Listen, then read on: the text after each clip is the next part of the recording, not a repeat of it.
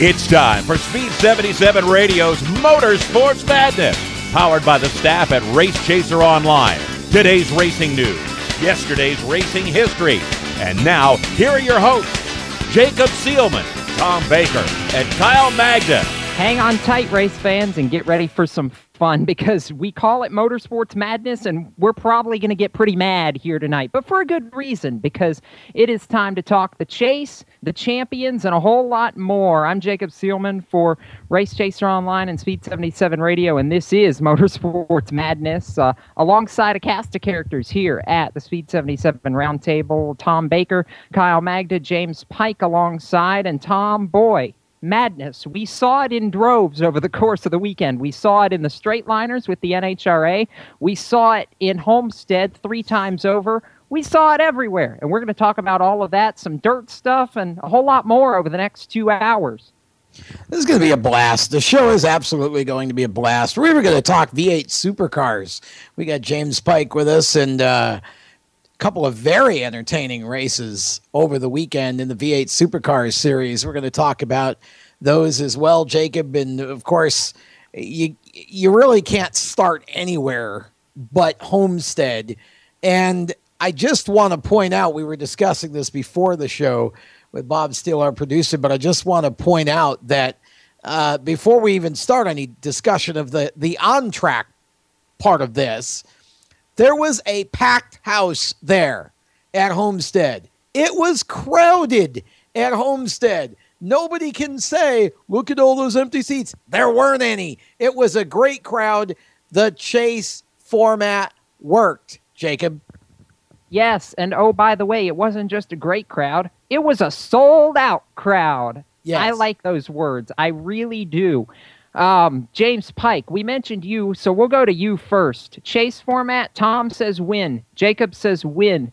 Jay, you, you and I discussed it all weekend, I, and I think we're all in agreement here. This was a home run in every sense of the word. And if, if we're talking home runs, how about the walk off by Kevin Harvick? Can could we have asked for any more? Could we?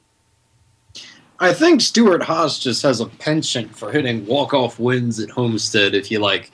Because if you think back three years, Tony Stewart did the same thing to win his third title. So uh, maybe something in the water over there. I don't know, but uh, yeah, I think you can question the, I guess, uh, ethical validity of having a champion based off the final race if you want. And from that standpoint, I think there's still a good debate to be had as far as this new chase system goes. But in America, we don't really care about that. We just care about excitement and drama. And there's absolutely no doubt that this was easily the most exciting and most dramatic chase since the 2011 chase. So, yeah, uh, I think you got to chalk this one up as a big success for NASCAR. And uh, first one in a while, I'd say. Oh, I think it wasn't just the most exciting chase. I think that was the most exciting race at Homestead that I've ever seen, Kyle Magda. And from from your standpoint, I know we've been talking about uh, the fact that the excitement has driven this chase. Well, I mean, deserving excitement. I think those are two words that both apply to Kevin Harvick because you talk talk about that four team eight poles, five wins, including the last two of the season is there anyone that argues their deservingness as far as hoisting the Sprint Cup at this point? I think the only other driver that I can think of would have been Jeff Gordon. And I mean, I had Gordon and Harvick as the final two in my uh, chase grid as the two that were going to be competing for all of it. So I think the four team gets it by far and away. I feel like they were the most deserving of the final four, and they went out and proved exactly why they were worthy of hoisting the Sprint Cup because Harvick dominated. Yeah, and actually he won three to final six races, so that that team was just on a roll the last year or so. And, and guys, another just to bring up a stat is Kevin Harvick led more laps than he did combined in his Cup career in one season in 2014. I think he led about. I think he led. Not looking at it, he led 2,097 laps. Just just outstanding for that team. But Kyle like, Magda on the stat. Wow, uh, that's a yeah. stat. It is a stat, but it's twenty one ninety seven, Kyle. just for the record, well, the original you, stat boy still has it. I didn't cheat, so. But um, no, I mean, going back to this season, they just they've been on a roll all season. been up front every single race, almost every race, and pretty much when the time showed, it was it was Kevin Harvick out in front. You know, uh, I know. Um, just took the four tires at the end and just went right to the front. And, and, you know, he had to hold off Ryan Newman. I mean, Newman was not going down without a fight. And, you know, it just showed how great this chase format is. I mean, for I'll admit it, I'm not a fan of the chase, but I'll do I'm I am with whatever is good for the sport and Sunday just showed that. Tom, okay, so eh, he holds off Ryan Newman, Kevin Harvick does. I mean, there were people that argued that Newman even belonged in the chase, let alone in the championship four. He got there by consistency, he got there by a little bit of luck. His run at Homestead was not luck. He got his way to the top five in the first quarter or so of the race and stayed there, did not leave the rest of the way. Anybody that doubted that 31 team was deserving of being in the Final Four, they had no room to talk at the end of that race. Ryan Newman earned his place in the championship four, and he proved why he was there during the race at Homestead. And he admitted after the race he couldn't chuck it in there like he did at Phoenix for a championship because he did it once and he wasn't going to do it again. And as much as I know he wanted it, I think that showed how much class that Ryan Newman really has as a Sprint Cup Series competitor and how much respect he has for Kevin Harvick, who, ironically enough, was driving the car that Newman left to go to Richard Childress. Well, let's clear a few things up there. First of all, people complain just to complain. So I don't really care if somebody thinks Ryan Newman doesn't belong there. For me personally, if you just left it up to me and said, "Well, what would you change about this format?" If if I changed anything, and I'm not sure that I really care to change anything, but the one change I might make is you have to win a race to get in. That would just end all this nonsense about Ryan didn't belong there.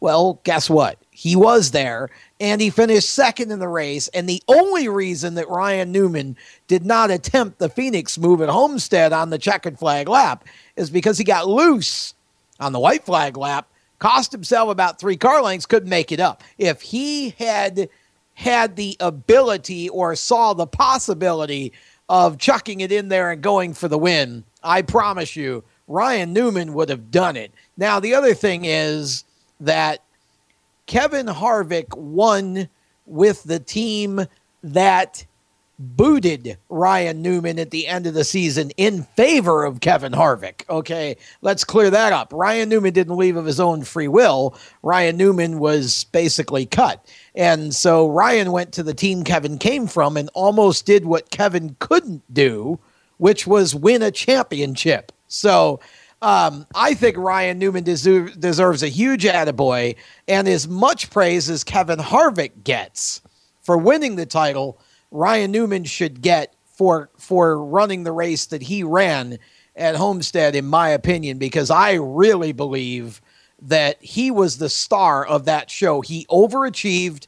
He showed more heart in that race, and that team got better all day long, even with the pit stops. The last couple were their best ones. So when they when it was really on the line, they picked up their pit time and got him out in a position to win this race. And you know, we we we talked about Denny Hamlin a little bit, Darian Grubb. You know what?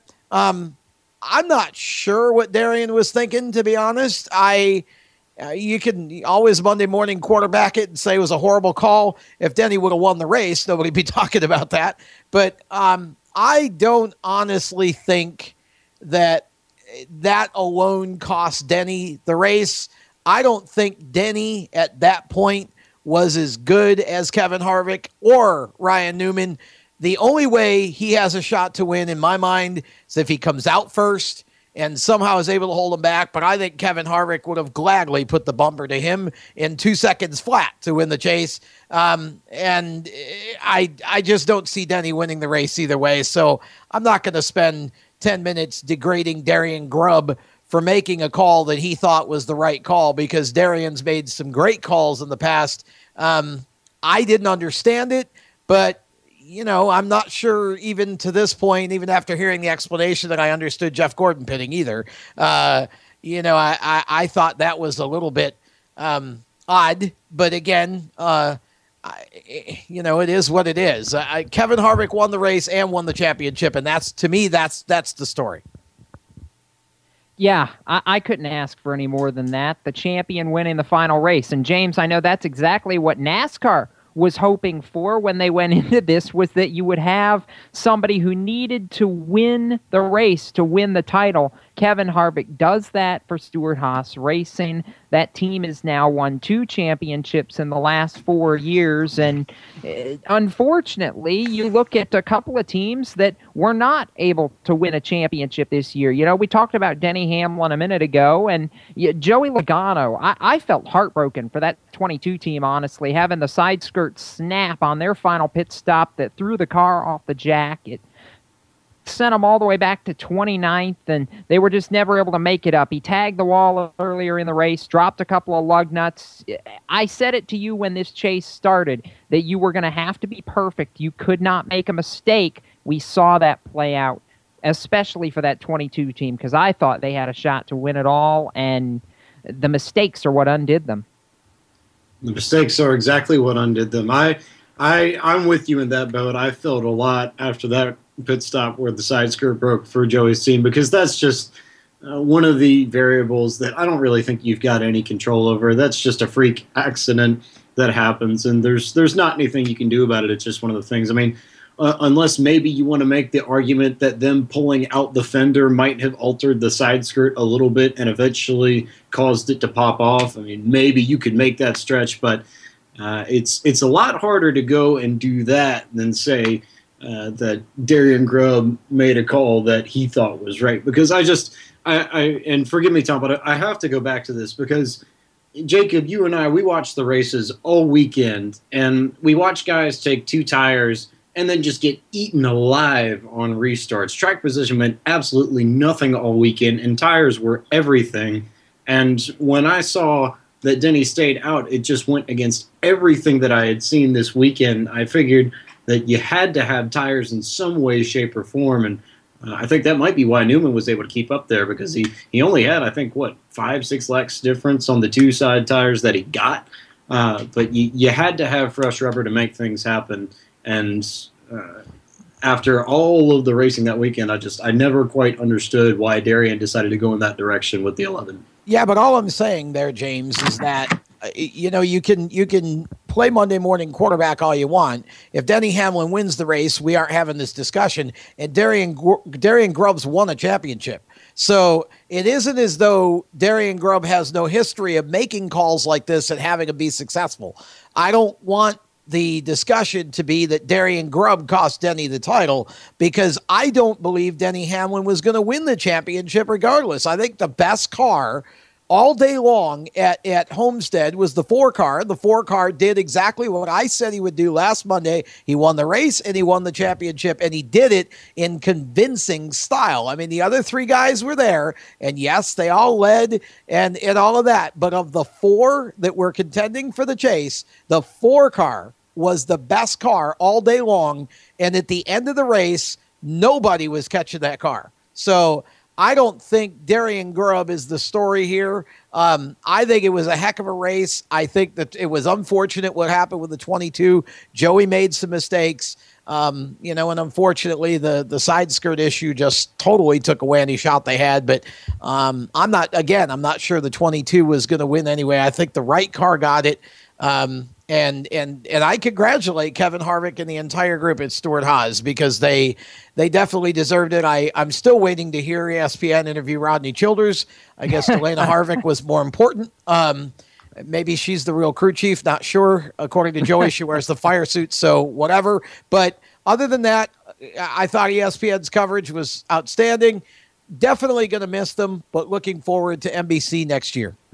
Yeah, as am I. So you have Kevin Harvick now with a Sprint Cup title, two nationwide titles, three Truck Series owners titles, 28 victories, including all five of the sport's major events.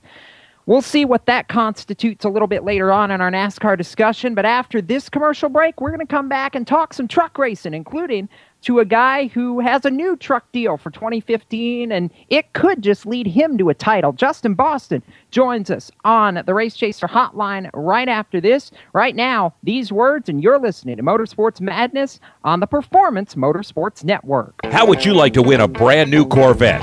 Larry O's got all the details. Enter America's number one dream car giveaway contest at winyournewcar.com. That's right, winyournewcar.com. Complete the puzzle the fastest and win a new Corvette tax free delivered to your door. Come on, stop dreaming and start driving with winyournewcar.com. You hear that? That's the sound of America's only sports car. That's right, it's a Corvette. But not just any Corvette. It's your Corvette. It's that who cares if there's traffic part of your day. And this can be you when you come to Cooper Corvettes. With 60 years of Corvettes to choose from, there's always a Corvette in your budget. And they'll service any Corvette you bring in. Cooper Corvettes on Route 1 just north of Quantico and Triangle. Call, click, or visit coopercorvettes.com. Before a disaster turns your family's world upside down, it's up to you to be ready. Get a kit. Make a plan. Be informed. Learn how at www.ready.gov. Brought to you by the Federal Emergency Management Agency and the Ad Council. On the air, you may know me as the man about motorsports. Actually, I've been the man about insurance for over 30 years. With one call, I can cover your life, health, auto, home, and business insurance. Recently, I saved a young couple over $500 on their annual car insurance bill. No gimmicks and no green lizard. So if you think your insurer is really your good neighbor who is on your side because he is holding your money in his good hands, think again. Call me, 703 631 8000. I have dozens of insurance companies waiting to give you the protection you need and deserve. It may take more than 15 minutes, but you'll receive sound advice, quality professional service, and an honest opinion. That number again, 703 631 8000. Ask for Larry O. Did you know that birthday parties help build confidence in kids? Yeah. Did you know that giving kids less sugar before bedtime helps them sleep better? Oh, totally. Did you know that friendly kids have more friends? Everybody knows that. Hey, guys, did you know that most people think they're using the right car seat for their kid, but they're not? I didn't know that. Parents who really know it all know for sure that their child is in the right car seat at the right age and size. Visit safercar.gov slash the right seat to make sure your child is protected. Coming to Tampa Bay, I said we want to win a Super Bowl, and I believe we will. From IamSecond.com. We came close, but never really did win that championship. Former NFL head coach Tony Dungy. At the end of my sixth year, I was fired, and it was one of the biggest disappointments of my life. Next year, I'm in Indianapolis, get to the playoffs, but get knocked out again. And for the next couple of years, it's the same thing. Everyone is saying Colts are never going to win one. And I did wonder why didn't it pan out the way I thought it would. But I determined that I had to have Christ first and that everything else came below that, including my own desires. The next year, that ended up being our year to, to go to the Super Bowl and win it. And it was a wonderful feeling. Every decision I make, I'm going to make it through the lens of Jesus Christ, and He'd guide us to that ultimate victory. Watch Tony's story at IamSecond.com. We now return you to Two and a Half Men on Speed 77 Radio's Motorsports Madness on the Performance Motorsports Network. Well, Steve's upcoming, so there was a lot that happened at Homestead, including a big announcement on Friday uh, regarding the NASCAR Camping World Truck Series for 2015, and we're getting ready to hear from a guy who's got a big opportunity with Kyle Busch Motorsports. Uh, Justin Boston and Matt Tifft announced as two of the team's drivers for the 2015 campaign. Justin going to be running a full time ride as uh, one of the three trucks, and Matt going to be running six races uh, in part with the team owner Kyle Busch and upcoming uh, NASCAR Next alum Daniel Suarez. And right now uh, we've got uh, Justin Boston on the horn to uh, talk a little bit about the new deal with us. We broke it Friday night on Race Chaser Online, and now going to get a chance to hear from him. Justin, want to bring you right out of the pits to talk with us. first off, congratulations again. I know I talked with you on Thursday just before the announcement was made about the deal, but this is big for you. You sign with arguably right now the best team in the truck series for 2015 and it represents another shot for you to run at a championship uh, how big is this going now into the off season that you guys have this steam headed towards daytona to uh, build a team and run for a title Oh yeah. First off, thanks for having me on, Jacob. It was a lot of fun talking to you last week. But you're absolutely right. I'm definitely with the best team right now in the Truck Series, and to be able to drive for Kyle Busch, I mean, he's such a phenomenal race car driver, and to be able to lean on guys like him, you know, for someone like myself, that's that's a big deal. And to be able to hop in a top-notch truck and you know, basically put me in a truck that we know has won races. They won 14 this year, so you know, you take a lot of equation, a lot out of the equation, and it's really up to me just to get up to speed and get comfortable and go out there and do what I do best and try and put our truck up front each and every week. And you know, I think I have a really good chance at you know battling for rookie of the year, obviously, but you know, I'm I'm in this to win races, and I'm in this to run up front and ultimately win championships. And you know, that's what I intend to try and do next year. And I'm gonna have a really good teammate with Erik Jones, and I'll be able to lean on him as well. And he's won a couple already, and I definitely have no shortage of talent around me. So you surround yourself with good people, and you're going to get good results. Okay, Justin. So uh, I have two questions for you, or you can take it as one question with two parts. Uh, the first question is Have you come down off cloud nine yet? And the second question is How in the world did all of this come about for you? I've, I've got to believe there's a pretty interesting story. Yeah, it's. I mean, I'm definitely on cloud nine. You know, it really hasn't hit me yet because I. Uh, I'm not in a truck or a car right now. You know, I haven't raced in a couple weeks, so it definitely hasn't hit me. But it's definitely uh, an awesome feeling to be able to know that I'm running full time next season in the Camping World Truck Series, and to be able to be in a top notch truck, and you know, that takes a lot of pressure off my shoulders. You know, and honestly, uh, we've been in talks for a while with Busch Motorsports, but Monday and that last week I didn't know I was going to be making the announcement. So I mean, it came about um, pretty quickly um, as far as making an announcement and making it public. But you know, we were in talks for quite some time, and um, it took a while to to get a deal locked down. But I mean, it it's such an awesome thing to be able to say that I'm running full time next year in the Truck Series, and I couldn't be thankful enough of my family being behind me and everybody that's been supporting me the past two seasons. Billy at Venturini Motorsports has really done a good job helping get me to where I need to be to get in this position. And I ran a couple of nationwide races this past season, ran some truck stuff. So I've done a little bit of everything this year, and I think it's going to uh, prepare me well for next season, running full time and um, really competing for wins and competing for a championship. What has Kyle himself talked with you about in terms of goals, expectations, uh, things to prepare for, that kind of thing? Uh, you know, we haven't talked much about next year yet. Um, they were uh, pretty focused on this past weekend, so um, rightfully so. And you know they locked up the owners championship, and they had a lot of success this past season. And that's really the next couple weeks is going to be sitting down and trying to figure out a good game plan through the off season and trying to get me in a good position to come out of the box at Daytona and uh, go for a win there. And really next year is all going to be about leading laps for me and com- completing races and being consistent. That's what won the championship this past year, and that's what's won.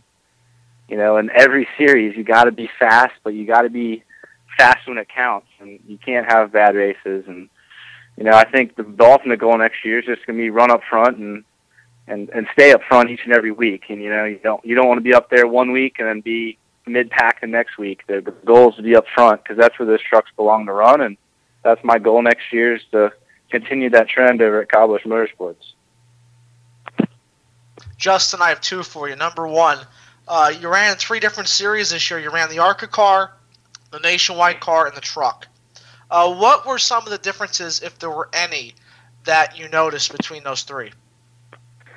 Uh, truck's definitely boxier, and it's got um, a lot more different characteristics than hopping in the ARCA car compared to so like going from ARCA car to a nationwide car seemed a little bit um, easier of a transition to me than an ARCA car um, and a truck. But I got to test a nationwide car, so it's really hard to tell. Um, when I hopped in the truck for practice, that was the first time I'd ever sat in a truck, um, besides at the shop. So it's really tough to really give it a good, um, you know, give any weight to that because I've only been in a truck one weekend and um, we didn't have that great of a weekend, so it's really tough for me to say what's what's what in the truck. Um, the Nationwide car and the ARCA car, in my opinion, were more similar than an ARCA car to a truck, and the Nationwide car to a truck. And uh, if anything, the truck's the most different thing out of all three. But I've never driven a Cup car, so I, I really don't know that answer that good. Um, but it seemed like the ARCA car and the Nationwide car um, translated pretty well for me. And kind of a follow up to that, you made three starts this year in, NASCAR's top three series, of course, the two nationwide, the one truck. Uh, what was the biggest thing that you got out of those starts? Uh, just seat time, um, gaining track time and experience at a level that's you know second highest level of motorsport in NASCAR. So I mean, you're racing against guys that have been around the sport for a really long time, and the level of competition, just getting used to that, and uh, you know, learning the ins and outs of each series and and who you're racing. It's such a big deal to know who you're racing, and that's you know part of the reason why ARCA's had such, I, I think, caution-free races because more or less everybody in the series uh, races each other each and every week, and our car counts in ARCA were a little down, but the racing in the top ten was really good, and it was really clean racing, and I think you know when you when you mix that and you get guys coming in series that haven't raced against other people it's you see a lot of guys get in trouble and get to a point where they drive over their head especially when you jump from like an ARCA car to a nationwide car. I mean the level of competition is so much higher. So you know as a driver you really just want to go out there and gain everybody's respect without you know getting yourself in trouble. And that's really what i was looking for when i went and ran those nationwide races was run well, but run everybody with respect, and you know they'll pay it back to you when it comes to a point where I'll be racing for wins in the nationwide series, well now the Xfinity series, and you know it's all about respect and you know paying it forward almost because I was there to learn and I wasn't about to go mess up anybody's championship hopes, and it was the point of the season where there's a lot of guys with a lot on the line, and you know I went out there and ran clean races, but you know, we ran good and ran the top 12 both races in the nationwide series and had a lot of momentum to carry toward getting this truck series deal and into 2015 off of that. Justin, obviously we know, and you, you've iterated it a couple times, the goal is to go out and race for wins and race for Rookie of the Year, and even if the brakes fall right, race for a championship. But uh, who in this team, I mean, obviously you, you've said it a couple of times, Erik Jones, Kyle Busch, they're great people to work with, but uh, what do you feel like uh, the benchmark is for this team going into 2015? Is there any bar that that you've set going into this, or is it just going to be take it uh, one step at a time when you get to Daytona? I, you know, it's a double-edged sword. You know, I want to go out there and win races, but I know it's going to take time for me to get used to the truck. And you go out there trying to swing a home run, and sometimes a base hit is all you need. You know, and I want to be as competitive as possible every lap. But you know, the goal is to be consistent and go out there and run up front and learn as much as I can the first – handful of races to apply for most of the rest of the season.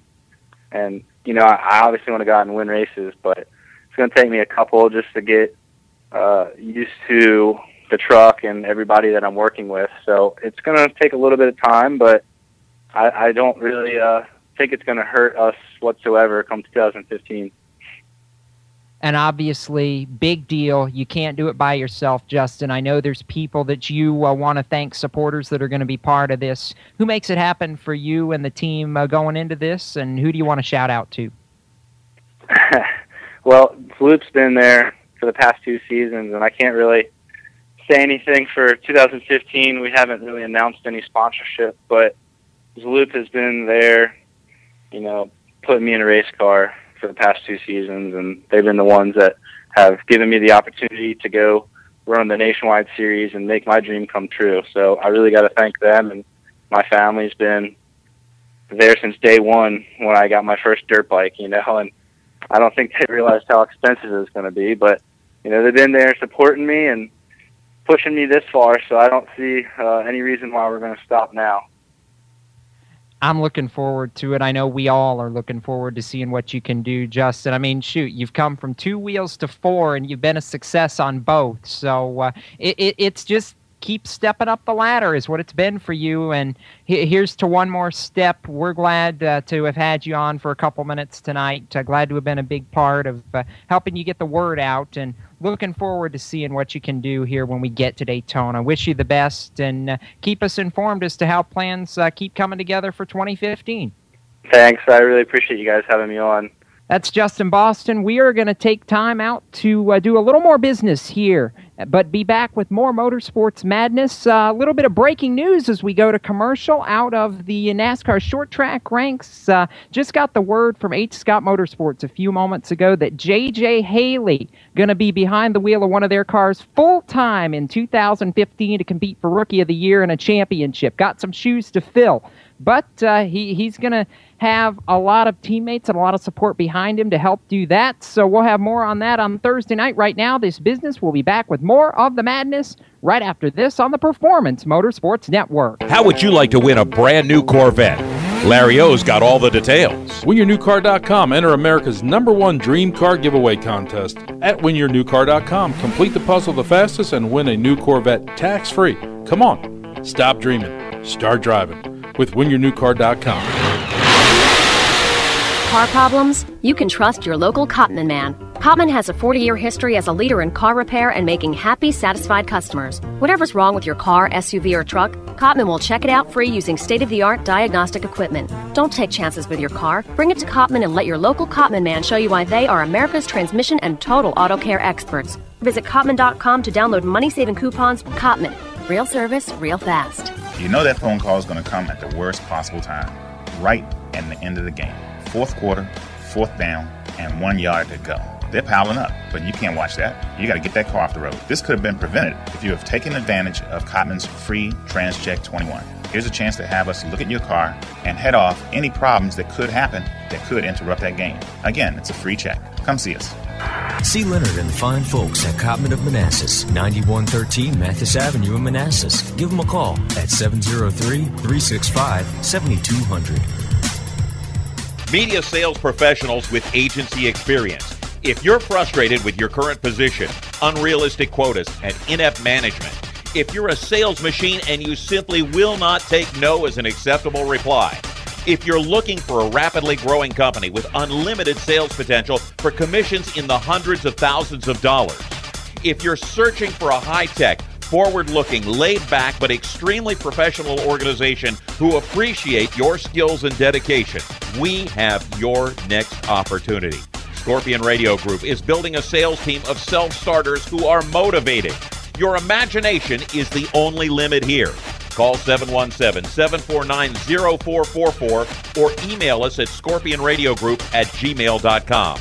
That's 717 749 0444 and ask for Sue. Hi, this is Jens Scott from Summit Point Kart in Summit Point, West Virginia. If you're looking for a real racing experience on a real racetrack, come out to Summit Point Kart this weekend. For as little as $25, you can get your racing career started. New this year, Summit Point Kart offers the RX 250 capable of over 75 miles an hour. We're open every Friday from 5 p.m. till 9 p.m., Saturday from noon till 10 p.m., and Sunday from noon till 9 p.m. For more information, go to our website, summitpointkartwithak.com, or you can call us at 304 725 5270. Summit Point Kart, your East Coast karting center. For 17 years, Stock Car Steel has been a leading materials supplier to the racing industry. Now they're also an official motorsports content partner of Race Chaser Online. The biggest names in NASCAR trust Stock Car Steel for all their raw materials, such as carbon steel, chrome moly, DOM, aluminum, plastics, and much, much more. You can't build a race car without the basic materials, and Stock Car Steel is the place to get them. Don't forget to also visit Stock Car Steel's sister company, SRI Supplies, for racing and industry. SRI is your number one source for all your shop supply needs nuts, bolts, rivets, tapes, adhesives, cutting tools, chemicals, body shop supplies, paint shop supplies, lubricants, and more. A well stocked race shop is a winning race shop, and the road to winning begins with three letters SRI. For more information, visit stockcarsteel.com and SRI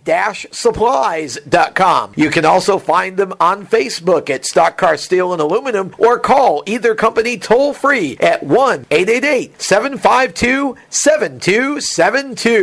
You're listening to Speed 77 Radio on the Performance Motorsports Network. Now back to Jacob, Tom, and Kyle on Motorsports Madness. We're back here on the Madness and uh, going to wrap up some NASCAR from Homestead conversation uh, here in this final segment before we uh, move on to a few other topics that have piqued our interest over the weekend. No pun intended, James. But anyway, so Homestead, and we were talking about trucks before the break. Let's talk about trucks for a minute, Tom, because we had a very entertaining truck race as well. And, you know, Toyota Power, Bubba Wallace, in potentially his final start with KBM and actually confirmed after pre race his final start with KBM. He goes out and wins one for the road. His boss wins the Owners' Championship in the 51 truck. I mean, what, what more can you say? Matt Crafton, a second consecutive championship. Nobody's ever done that before. Toyota had to be smiling pretty big at the end of Friday night. You know, it was a that was a very interesting conclusion Friday night, wasn't it? I mean, as you said, Matt Crafton wins his second driver's title. Kyle Busch Motorsports wins an owner's title, and uh, Bubba Wallace goes out with just a fantastic run. That was a that was an entertaining race almost from the drop of the green, and I was happy to see Bubba win because I know there's a lot of speculation about what he's doing next year. I I mean, I'm just my gut tells me there there's a nationwide car at JGR with his name on it, and I I really believe that's Bubba's next uh, great adventure, if you will. And I think he's more than ready for it. And I think he showed it on Friday night. He's had a good season.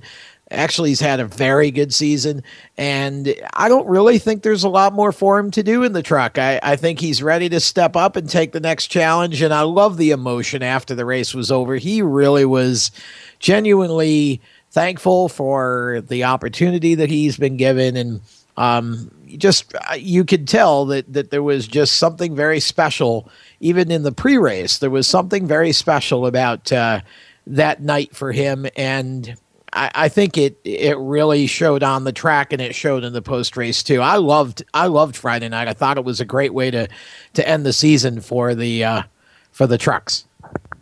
Uh, Kyle Magda, are, are we shocked by any of this? I mean, KBM won 14 out of 22 races this season. Uh, of course, half of those uh, were by Kyle Busch, but you get four and three from Darrell Wallace and Erik Jones, respectively. I mean, this is a team that's dro- grown absolutely into the face of the truck series. I really am intrigued to see what 2015 brings now. You put Erik Jones in a truck full time, you put Justin Boston in a truck full time with as potent as that machine machinery has been recently.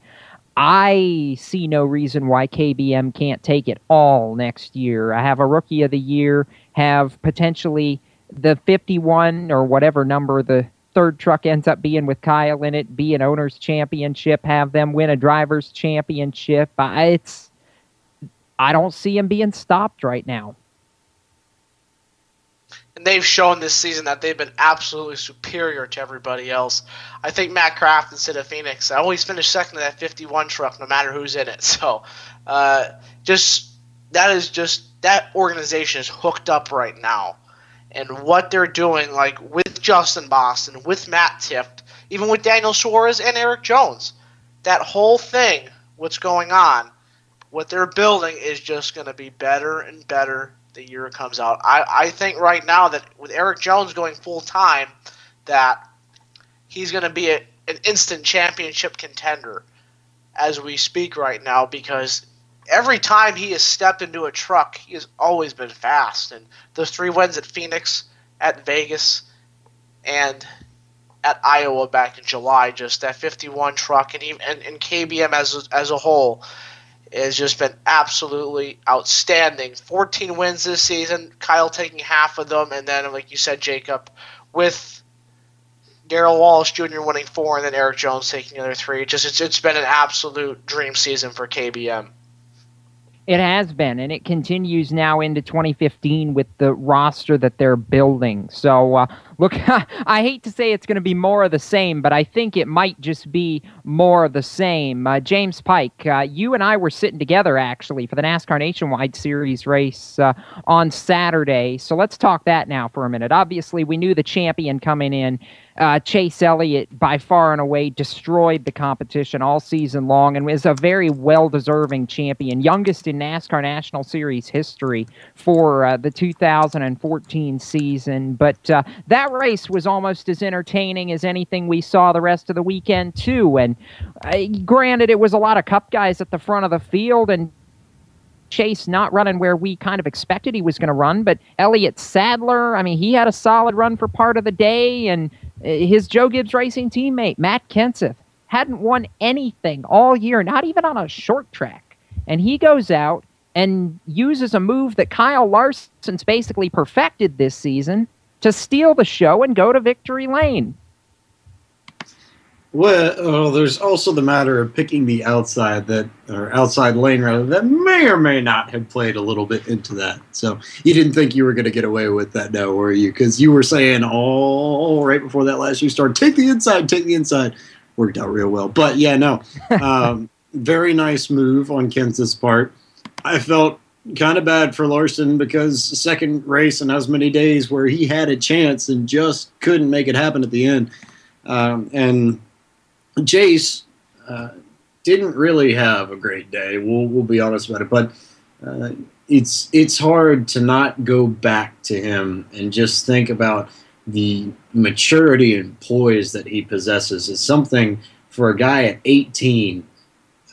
I don't know if I've ever seen anybody in the sport that young be that composed. I'm thinking either he took notes from his dad or his dad trained him very well. The reality is that it's probably a combination of both, but uh, it just it blows my mind to think that a guy three years younger than me has already got a nationwide series title behind his belt. Is that not a little bit staggering, Jacob? Just a smidge? Yes, it's staggering. And uh, what else was staggering was the fact that uh, despite a myriad of problems at the end of the day, uh, Brad Keselowski in the 22 came all the way back to the top 10 to win the Owners' Championship for Roger Penske. I mean, two in a row, I think Joe Gibbs Racing in the Nationwide Series has been officially dethroned because that 22 team and the captain, five drivers, uh, six wins, including a couple by uh, both Keselowski and Ryan Blaney. That team's the new standard, the new dynasty in the Nationwide Series. And Roger did himself good on Saturday. That was an impressive comeback by the 22 team. Jeremy Bullins, we know he's off to the Wood Brothers for 2015, so he goes out on top as well. Yeah, definitely. I think you have to look at Penske and say, and I know you've said this, and uh, the more I think about it, the more I have to agree with you that Penske has, to some degree, dethroned Roush a little bit as the Ford factory team. Yeah. Uh, they just absolutely wiped the floor with Roush Fenway and all series this year. It was unbelievable uh, to think that two cars can be better than four, but uh, that's just the way the captain does business, I guess.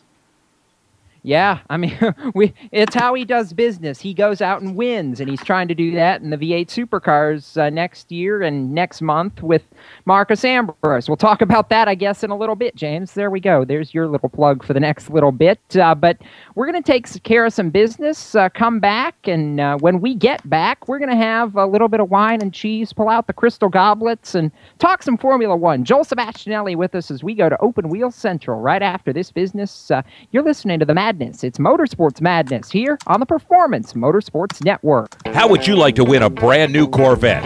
Larry O's got all the details. In the Pits Media is proud to present its newest partner, WinYourNewCar.com. That's right, you now can enter the number one American Dream Car Contest giveaway at WinYourNewCar.com. Complete the puzzle the fastest and win a new Corvette tax free, delivered to your door. Come on, stop dreaming, start driving with WinYourNewCar.com. Car problems? You can trust your local Cottman man. Cottman has a 40 year history as a leader in car repair and making happy, satisfied customers. Whatever's wrong with your car, SUV, or truck, Cottman will check it out free using state of the art diagnostic equipment. Don't take chances with your car. Bring it to Cottman and let your local Cottman man show you why they are America's transmission and total auto care experts. Visit Cottman.com to download money saving coupons. Cottman. Real service, real fast. You know that phone call is going to come at the worst possible time, right at the end of the game. Fourth quarter, fourth down, and one yard to go. They're piling up, but you can't watch that. You got to get that car off the road. This could have been prevented if you have taken advantage of Cottman's free TransCheck 21. Here's a chance to have us look at your car and head off any problems that could happen that could interrupt that game. Again, it's a free check. Come see us. See Leonard and fine folks at Cottman of Manassas, 9113 Mathis Avenue in Manassas. Give them a call at 703 365 7200. Before a disaster turns your family's world upside down, it's up to you to be ready. Get a kit, make a plan, be informed.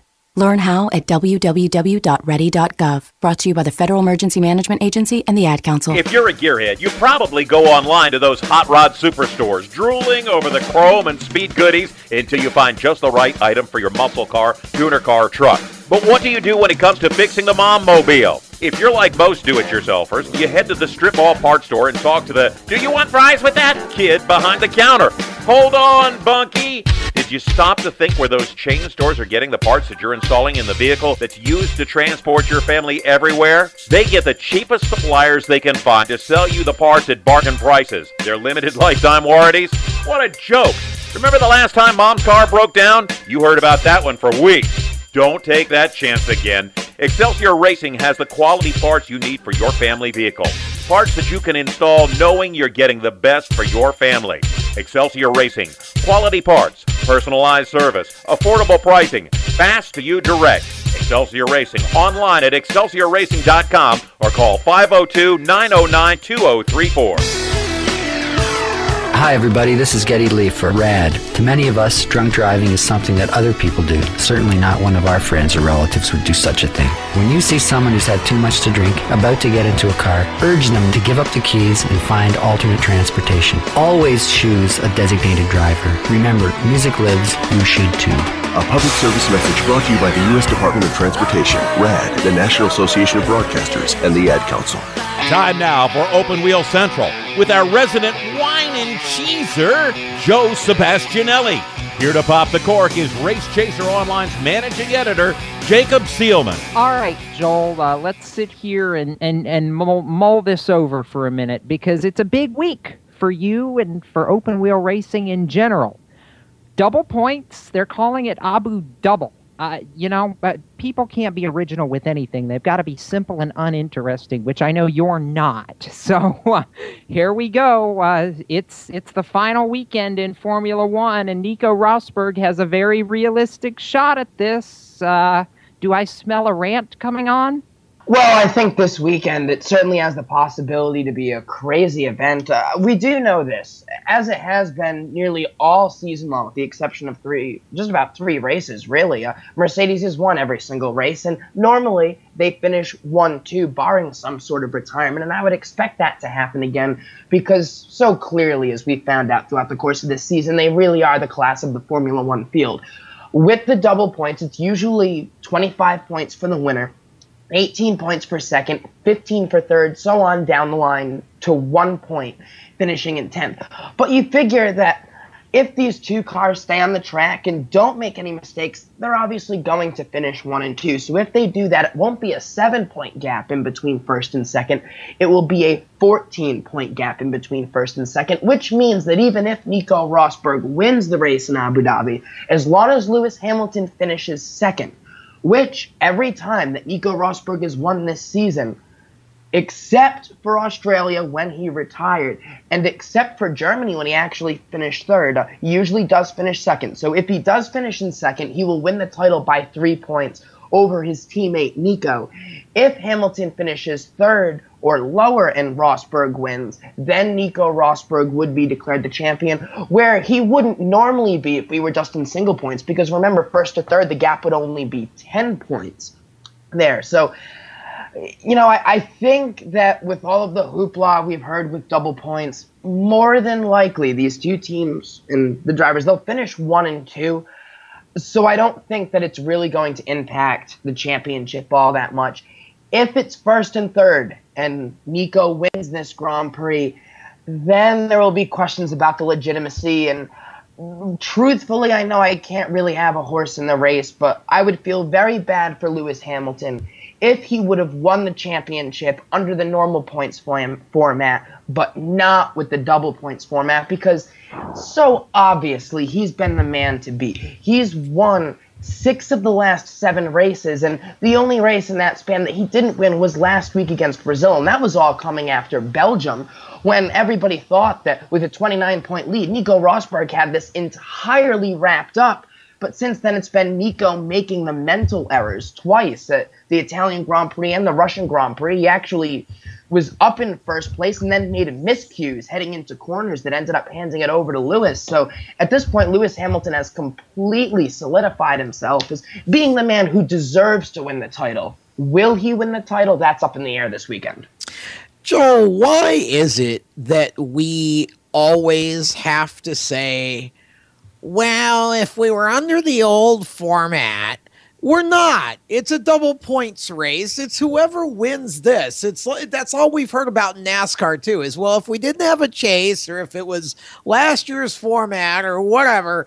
Eh, I I am so disgusted with with talking about things that don't exist anymore. Let it go. It's a double points race. I don't think you can say that if Nico Rosberg wins the championship on Saturday or over the weekend, in whatever format we have right now, Nico Rosberg's the champion. I don't, I, I, I'm all right if somebody says I really don't like the double points idea, and I agree with that personally. Although I, I, I don't know. I kind of like those unique little things that, that happen in the sport. I think it changes the complexion of a race. I think it makes it something special to watch or whatever. But I don't care if you take the double points away.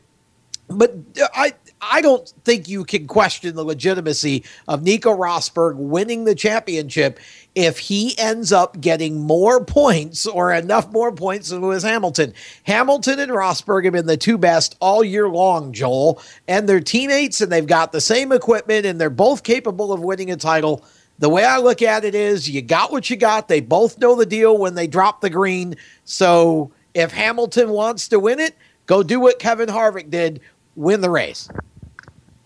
Well, I think that the counter argument to that here is when you look at the rest of the season, how have the two of them compared, particularly head to head? Hamilton has 10 Grand Prix victories on the season, Rosberg only five, and Rosberg has finished second to his teammate Hamilton eight times when Hamilton has won. I don't mean just finished behind Hamilton wherever, finished second to him in the same equipment. Hamilton retired one more time, and quite frankly, it was at Spa when you can absolutely argue that it was Nico's fault, and Nico took him out at the top of the hill. So, really, I mean, yes, on the one hand, I agree with you, but on the other hand, one driver has been superior.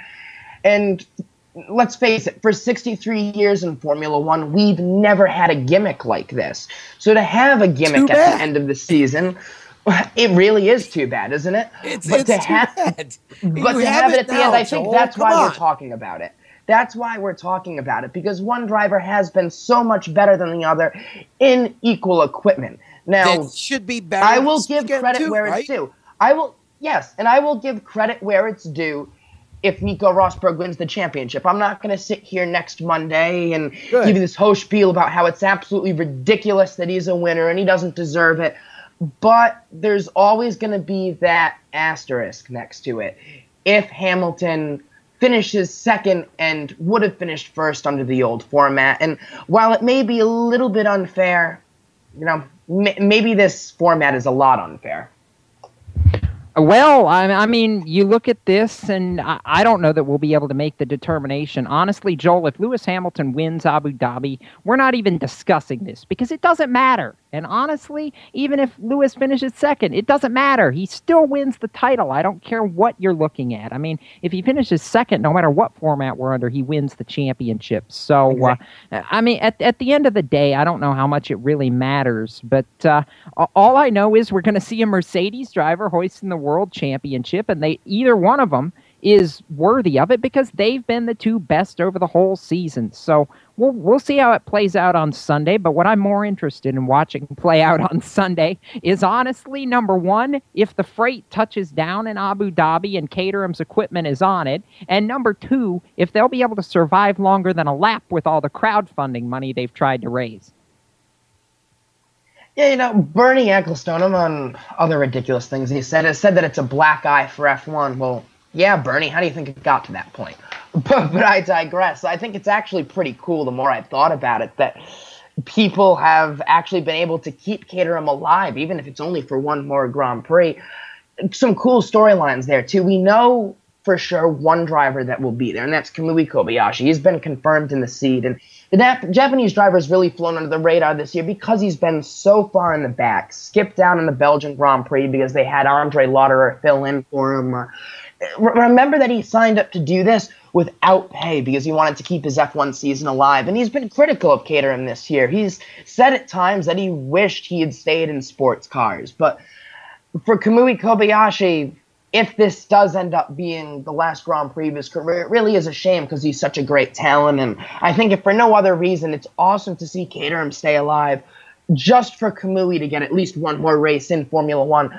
A Swedish driver, Marcus Ericsson, has raced for the team all season, is confirmed to race for Sauber in 2015 and terminated his contract with the team. He will not be there this weekend. So, th- who will the second driver be? Marussia, the other struggling team in Formula One, will not be there this weekend. So, Max Chilton has been mentioned as a possible fill in and, and is actually a likely fill in, one would think. But Spanish Formula Renault driver Roberto Merhi, the 23 year old, actually says he has a contract in place to fill the second seat. Which wouldn't surprise me. You would think that, uh, you know, with Sauber theoretically having three drivers signed for 2015, and now Caterham having a little bit of trouble with their contracts, you would think Formula One teams would be a little bit more careful about what they put on paper and what they sign on the dotted line. So if he does have the case in the contract to race for them, you would certainly think he would. He finished third in the Formula Renault title chase this season and actually tested as a driver with Caterham in Italy, Japan, and Russia, those three Grands Prix. So it'll probably be either Merhi or Chilton. Andre Lotterer, the Audi sports car driver and 24 hour of Le Mans champion, was offered the seat just as he was in Belgium, but he did decline this time. It's going to be interesting. And like I said, I think I'm more interested in seeing how that whole debacle plays out than I am about who wins the world championship, as sad as that sounds, Joel.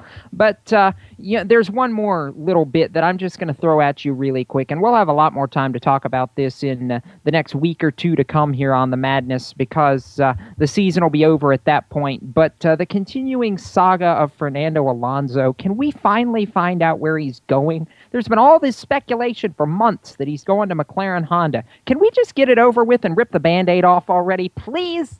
Well, it certainly sounds as though it will probably be McLaren. I think we've heard enough at this point to say that we're able to bet on that, that that's where he's going. Either way, we know it'll be his last race with Ferrari, and it'll be Sebastian Vettel's last race with Red Bull, which, with all the news about Caterham and all eyes on Lewis Hamilton and Nico Rosberg and Mercedes, it's so easy to forget the fact that this is signaling the last race of a certain era in Formula One with, with uh, Sebastian Vettel and his title streak coming to an end. And not just his title streak, but his streak with Red Bull Racing as a driver, where he's been. Uh, ever since he was in the program with Scuderia Toro Rosso several years ago and won the Italian Grand Prix completely by surprise in the rain as one of the youngest drivers ever to win in F1 history. He's gone. Fernando Alonso and Ferrari never quite breaking through to that next level like we thought they would, but still Alonso considered one of the best drivers on the grid. His time with Ferrari now coming to an end. And it's going to signal a new era for younger drivers, too, with Danny Kvyat racing his last race with Toro Rosso, moving up to Red Bull Racing next season. Uh, you know, it's really the last of an era, I think, in some ways. Uh, whereas, you know, the first phase of that era with the new power units and the turbocharged V6 engines, that started this season, and now at the end of this season, I think it's really the last shift in that phase. Well, we're, we're going to see a lot of phases end this weekend, uh, including the Formula One season. Joel, last thing, and I have a feeling I'm going to get about three words. Are you as excited to watch Abu Dhabi this weekend as the rest of us were to watch Homestead here on Sunday?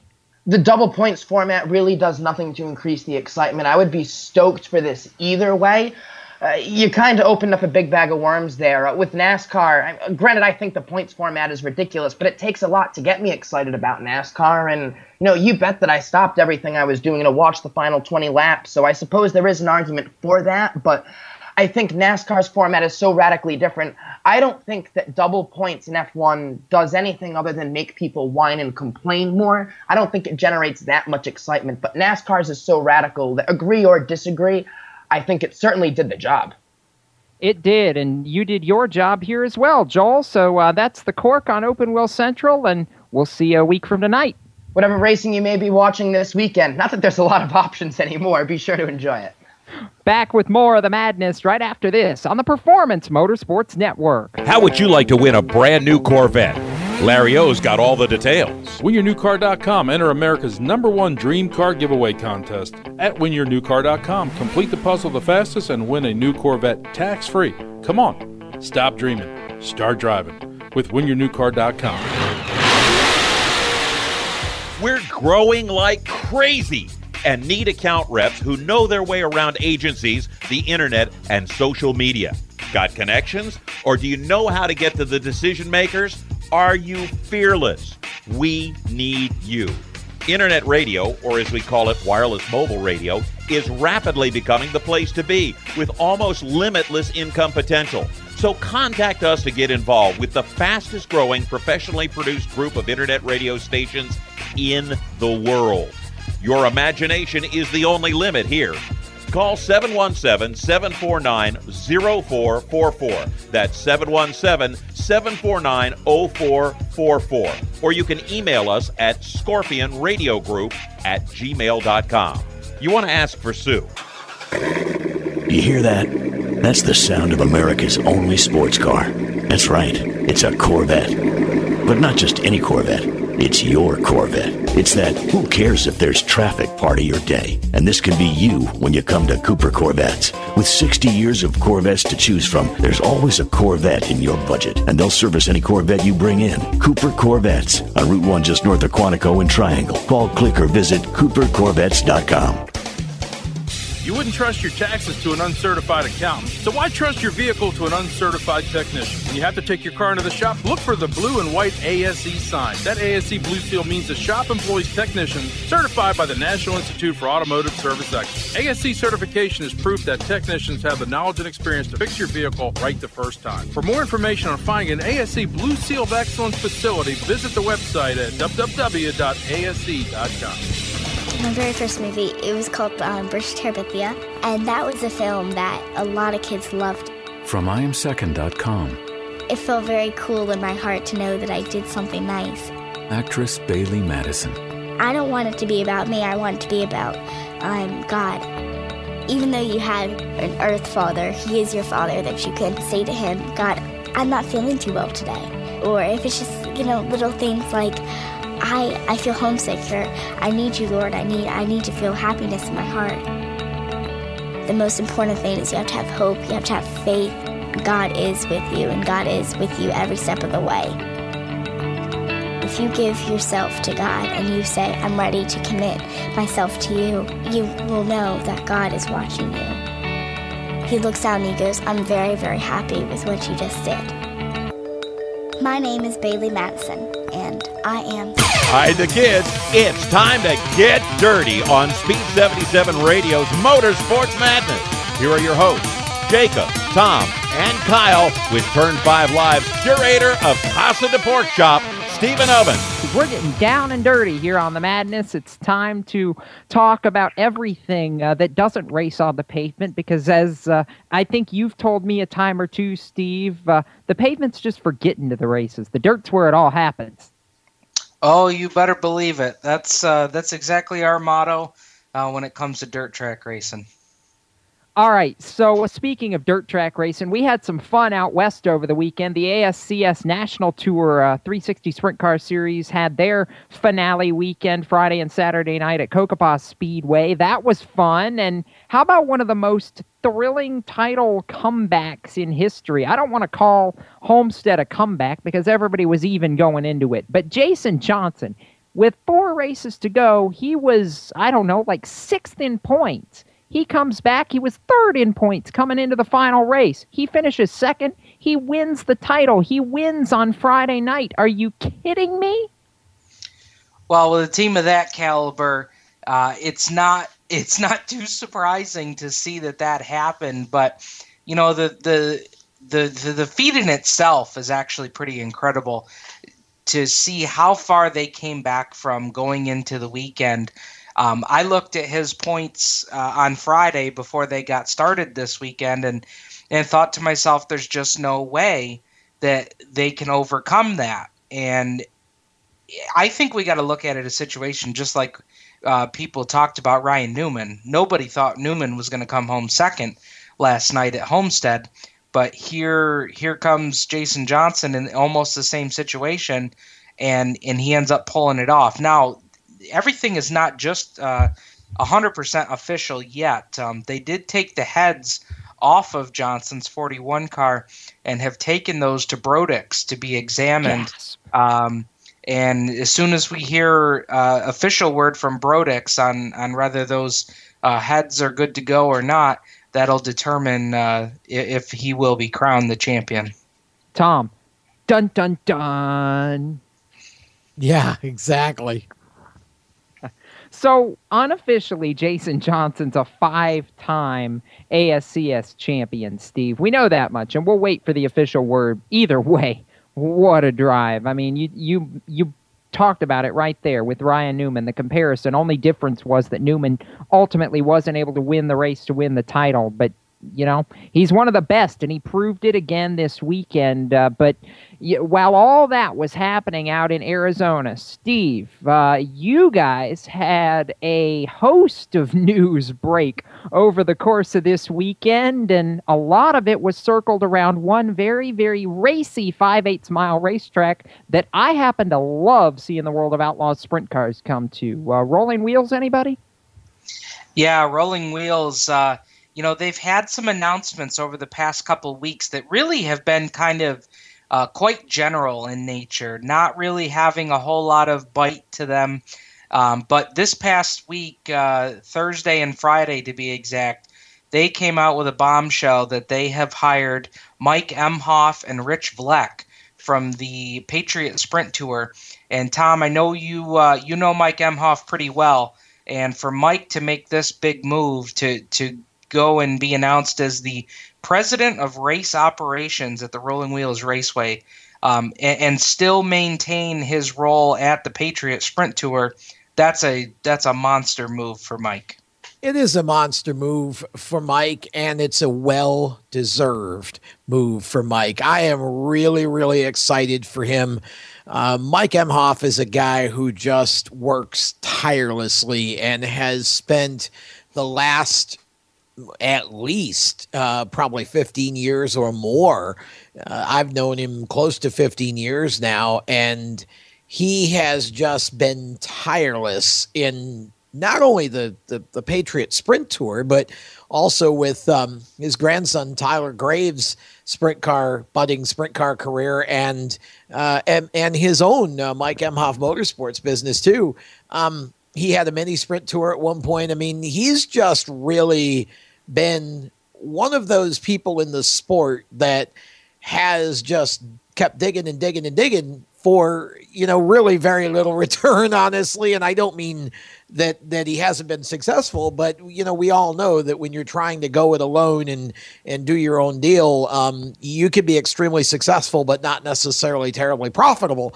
And um, because it just takes so much time and you have to put so much back into it. And um, mike has just he deserves every bit of this. So I'm happy for him and and Rich as well. Uh, you know, both great guys and two guys that I think are going to be very very fan responsive guys for rolling wheels and they're going to ramp up the excitement level steve for uh, for everybody at that track i think i think mike's the perfect guy to set the leadership tone and and really uh, make that thing happen at rolling wheels.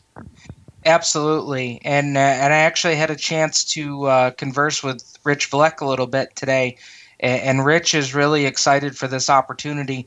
And we actually booked him to be on Turn Five Live tomorrow night here on PMN at 7:30 Uh, if you tune in uh, tomorrow night to Turn 5 Live, we will talk with Rich Fleck, who is the uh, newly appointed uh, Director of Media Relations at Rolling Wheels Raceway.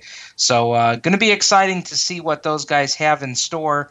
Rich will tell us as much as they can. I mean, certainly they've only got a few days uh, in the office under their belt, but um, he will definitely be able to tell us as much as he can tomorrow night. Um, and you know, Tom, that wasn't the only uh, racetrack news and sales uh, opportunity that, that presented itself within the last week. We also just found out that Howie Commander has purchased the Albany Saratoga Speedway, and that was a speedway that uh, was on a year-to-year basis and really, you know, didn't have the didn't give racers the opportunity to feel like it was going to be a, a plan that had longevity um, having to go from year to year and not knowing what was going to happen with the speedway. So now Howie Commander in control of Albany Saratoga. Yeah, now that he's purchasing it, that should put a lot of people's minds uh, to rest uh, in terms of whether or not he. Uh, whether or not uh, he's going to keep it as a racetrack. I know that rumor's been out there. I can't speak I'm certainly not inside Howie Commander's mind, but I've known about Howie for a long, long time. I know how he operates, and I promise you, Howie Commander is not ponying up a lot of money to buy this racetrack to sell it to some developer who's going to close it and turn it into a shopping mall or something. I promise you that for the foreseeable future, Albany Saratoga is not just going to continue to exist, but Howie's going to do everything he can to make it thrive and preserve its history at the same time, Steve, because that's how Howie does things. Yeah, and his first step in doing so was even before signing the papers and getting the keys to the great race place. Uh, they started laying down brand new clay uh, at Albany Saratoga, and that was done before the the papers were signed and he had the keys in hand. So I think that should go a long way uh, with the race fans and drivers at Albany Saratoga as well. So um, should be pretty good to uh, to see that out uh, in the capital region of New York in 2015, and uh, you know also sure. talking about things in 2015. Uh, Jacob and Tom, I'll get both of you guys in on this a lot of announcements coming from the way of the National Sprint League, and oh uh, of course, I I've I've been a little bit critical of their name being the National Sprint League because, as we've seen with their uh, schedule, it's it's pretty much a, a, Midwest Sprint League, and and while that's fine, and I think that's great for the Midwest guys, you know, like a Brownie or a Terry McCarl, you know, guys of that nature that are going to travel this tour I just I, I wasn't really thrilled with the the name national because it gave race fans the idea that it was going to be a national tour, and it's not. It's a Midwest tour. Um, now, what happens in the future is yet to be seen, and, and certainly they haven't even run a race yet. But, guys, they made some pretty big announcements this week. Number one, uh, they're going to be broadcasting all of their races live on a network called Speed Shift TV uh, which is speedshifttv.com. That was one announcement they had. Another announcement that would kind of kind of draw my attention a little bit was they hired Natalie Sather from the World of Outlaws as their uh, head marketing uh, employee, and and I was I was kind of surprised by that because Natalie has been a, a mainstay on the World of Outlaws tour.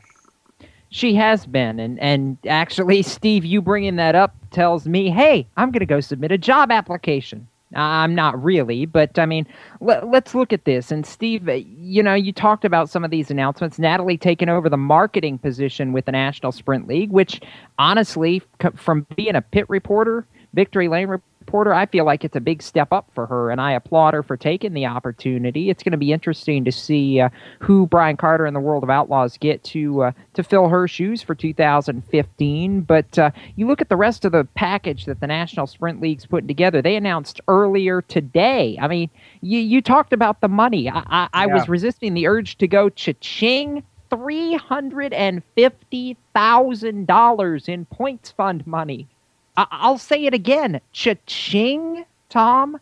Money, money, money. Money talks. Well, money talks, but for how long is going to be the question. I, I'm really just not so sure about all of this just yet. I first I agree with Steve. If you're going to call it the National Sprint League, it ought to it ought to spread a little further across the, the map, though it is possible, as you mentioned, Steve, that maybe that's the intention and they're just kind of starting slowly or more as a regional series they'll build up for later. Um, anytime a series comes into existence and starts splashing around that kind of money right out of the box with no racing yet done, no drivers yet promised, nothing. I just get a little bit weary. I've been around the sport long enough.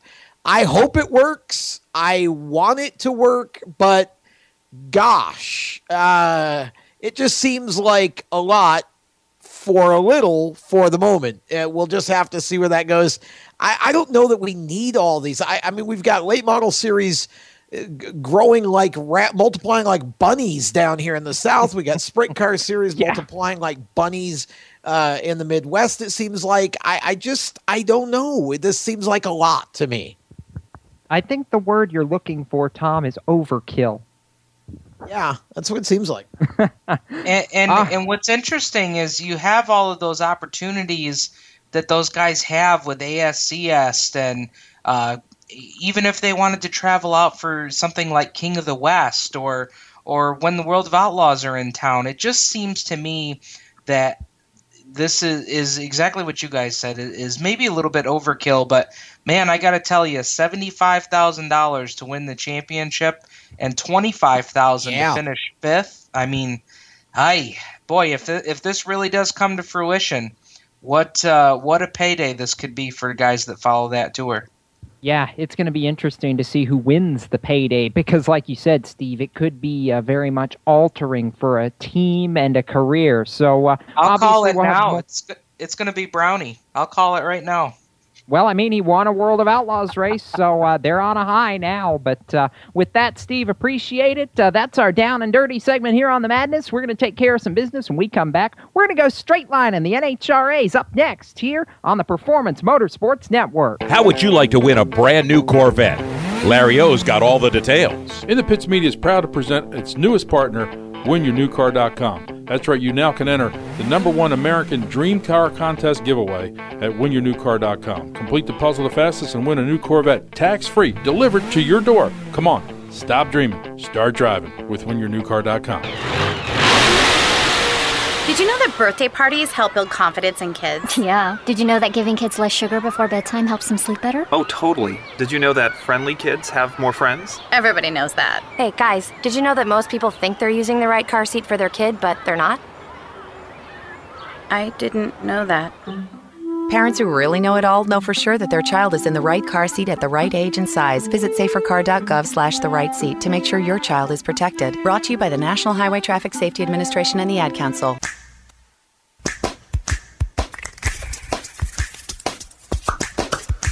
Hands can do incredible things. They made every sound in this piece of music but nothing compares to using them to help save a life. If an adult suddenly collapses, call 911, then push hard and fast in the center of their chest until help arrives. It's called Hands Only CPR, and it's recommended by the American Heart Association. Visit handsonlycpr.org today. A message from the American Heart Association and the Ad Council. Car problems? You can trust your local Cottman man. Cottman has a 40 year history as a leader in car repair and making happy, satisfied customers. Whatever's wrong with your car, SUV, or truck, Cottman will check it out free using state of the art diagnostic equipment. Don't take chances with your car. Bring it to Cottman and let your local Cottman man show you why they are America's transmission and total auto care experts. Visit Cottman.com to download money saving coupons. Cottman. Real service, real fast. You know that phone call is going to come at the worst possible time, right at the end of the game. Fourth quarter, fourth down, and one yard to go. They're piling up, but you can't watch that. You got to get that car off the road. This could have been prevented if you have taken advantage of Cottman's free TransCheck 21. Here's a chance to have us look at your car and head off any problems that could happen that could interrupt that game. Again, it's a free check. Come see us. See Leonard and the fine folks at Cottman of Manassas, 9113 Mathis Avenue in Manassas. Give them a call at 703 365 7200. all I wanted to do was just pick up a guitar and sing praise songs. From IamSecond.com. Well, when I got to 17, I was playing in after hours bars, just in a bunch of trouble. Grammy Award winner Michael W. Smith. Smoking that first joint and feeling so guilty about it. From there, it was LSD, and your compass sort of just like disappeared. I knew where I belonged, I just couldn't get out. I was very depressed. I went on the floor and just began to shake. And I was just weeping. I was weeping. And I just began to just cry out for God. 12:30 at night on the linoleum floor of my kitchen, the God of the universe came and wept with me on that floor. I know where my hope lies. It's not being a rock star. I'm a son of the High King of the universe. Watch Michael's story at IamSecond.com. We now return you to Two and a Half Men on Speed 77 Radio's Motorsports Madness on the Performance Motorsports Network. Oh dear. I, I, the the question is, Tom, which one is the half, you or me? Well, I think you're a little taller than me, so I, I think that that hey. was yeah, that was that was for me. Okay, that's fine. That's fine. Hey, let's go. Let let's go in a straight line for a few. We've turned left all show. Let's go in a straight line for a minute because Let's the Auto it. Club NHRA Finals. I mean, Pomona, California, where the season starts, where the season ends, doesn't get much better than that, and it doesn't get much better than some good old fashioned win the race to win the championship. We saw a lot of that this weekend. We saw two drivers, Tom. You and I actually watched the whole uh, depth of the four rounds of final competition uh, uh, on Sunday night, and wow, the drives by Matt Hagan and especially by Erica Enders Stevens in Funny Car and Pro Stock, respectively. They won the race to win the title, respectively. I mean, again, this weekend was just magical for so many people, and I want to tip my cap first to Erica. First female pro stock champion in history, third female NHRA champion in history, six wins on the year, and the final, a double red light. That never happens. Are you kidding me? Well, not only does that never happen, but the likelihood of it happening in that particular circumstance when there's a championship on the line like that is just uh, I would it's unbelievable really. E- Erica Enders Stevens what a, a, a just what a season for her. I mean and she is I think she is probably one of the most marketable figures in the NHRA. She is just so genuine and so personable, and yet she is so aggressive and so fast. Uh, really enjoyed watching her yesterday and listening to her, and and uh, she just put on a great drive. I mean, that was the the championship round of that was extremely exciting, and I loved her her quote going in when they asked her, you know, are you nervous about the next round? And she said no, and then she turns around to the camera and goes, and that's a lie. Uh, it was just it, it, she's she's really a very very entertaining uh, driver in the NHRA, um, and I enjoyed I enjoyed watching her run tremendously. She really had to work for that one, and she did. She did. I mean, it was winner take all in that pro stock final. It was her versus Jason Line, who never red lights. I mean, you talk about two champions of that sport in that category. It was unbelievable, a clash of the titans, if you will. And that so too was it in Funny Car. And Kyle Magda, I want to bring you in on this now for a minute because we've seen this battle play out four out of the last five years. It seems like it just comes down to nowadays Matt Hagan versus John Force. Well, guess what? John Force has won two of them, and now Matt Hagan has won two of them. He locked up the title by winning the semifinals because John uh, was not able to run fast enough to go for a national record, but he took it one step further. He went out and beat the king of drag racing in the final round to go out with a bang at Pomona. He wins the race, wins his second title. I mean, and he's a cattle rancher. That I think makes Matt Hagan's story all the more uh, memorable because he took off his racing helmet, went home, and put on the cowboy hat. Yeah, Jacob, but no pun intended on the peak thing there. But um, no, but uh, I think I think a key turning point in this championship was back at Reading back in October because John Force went into Reading with the points lead and actually got eliminated in the first round, and then Matt Hagan went on to win that event and then take the points lead, and then of course that epic battle on Sunday, sealing the deal for for Don Schumacher Racing, and of course also with with Tony Schumacher, uh, the Sarge, just going out there and clinching it on Saturday, the, the top fuel championship. So all in all, a good weekend for Don Schumacher Racing. It was a great weekend for Don Schumacher Racing. Uh, Tony Schumacher winning his eighth world title by the end of qualifying. But uh, Tom, Don Schumacher was not the story that we were talking about at the end of the NHRA finals at Pomona. Nope. No, uh, the, the story was John Force. It seems Isn't like it always? Even, even when he loses, he's the story. And you know why? Because John's humble opinion, and yes, they're all humble no matter how outspoken he is, is that at the Auto Club finals, you need to do one of two things. You either need to go out and have a big win or God bless him, you need to go out and have a big, a big fire. Yeah, exactly. And that's what he had yesterday. He had a big fire.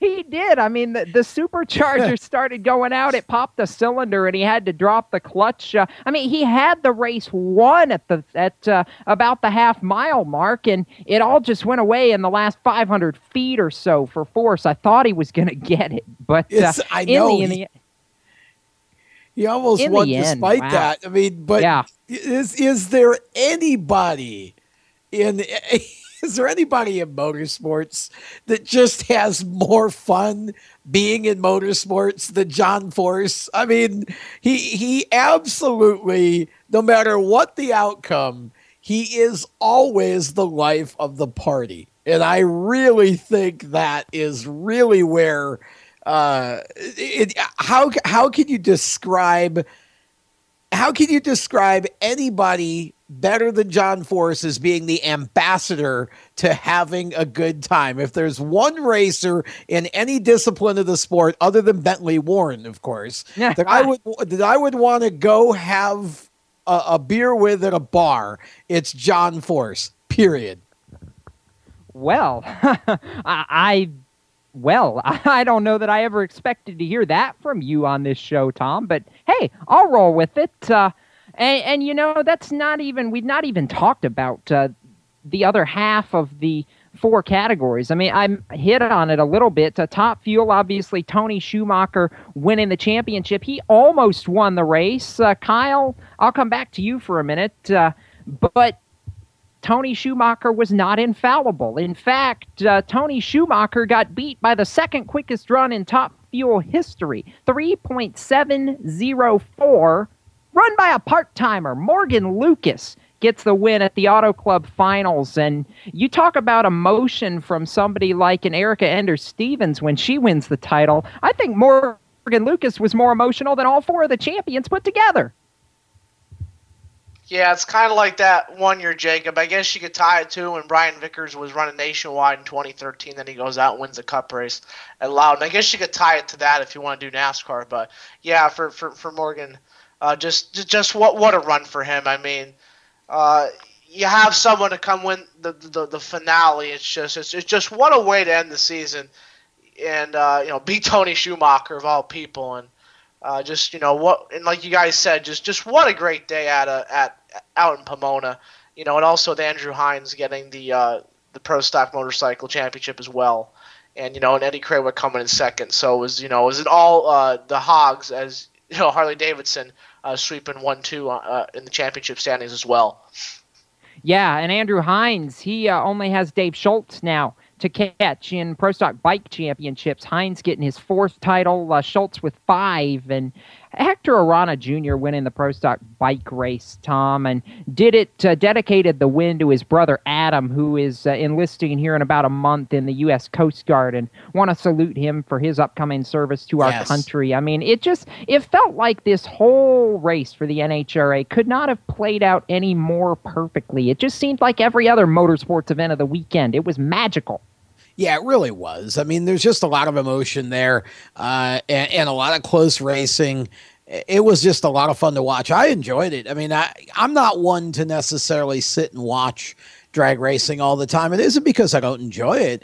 It's because I a lot of times just have the idea that TV just doesn't do it justice when you No, see it, it in doesn't. person. It's just amazing. But um, it was great to be able to sit there and watch that last night and uh, knowing very little about who won anything going into it really helped too.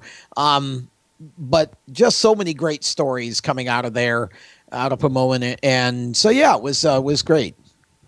It was, and I, I as much as I'm gl- uh, congratulatory of Matt Hagan for winning the Funny Car Championship, I honestly was hoping that uh, that I could play back the clip in my head from 2010 uh, when Paul Page was still calling for the NHRA, and and think to myself that John Force had his championship again and didn't quite pan out. But hey, he's got Peak and he's got Lucas Oil on board for 2015, so we know John will be out to win that 17th title again. And hey, if he's got Lucas Oil on board, I'd say he's going to have some speed because Morgan Lucas definitely showed uh, that they're not uh, they're not to be trifled with.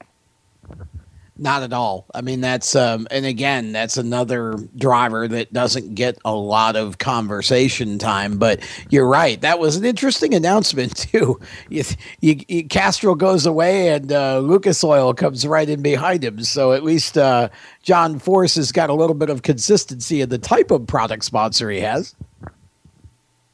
Yes, yes, he does, and uh, I know Forrest Lucas. Uh, they're they're not afraid to spend a little bit of money to go out and win a championship. So I think John Force will probably be about right where he was this season again next year in contention for another title. So that's the straight liners. Congratulations to the winners and the champions once again, and looking forward to uh, 2015, the first weekend in February when the Winter Nationals kick it all back off. But uh, we still got more motorsports ahead to talk about. Not everybody's done for the year. When we come back, we'll talk V8 supercars. Let's go down under and bring James Pike back to the table for more conversation here on the Madness on the Performance Motorsports Network. How would you like to win a brand new Corvette?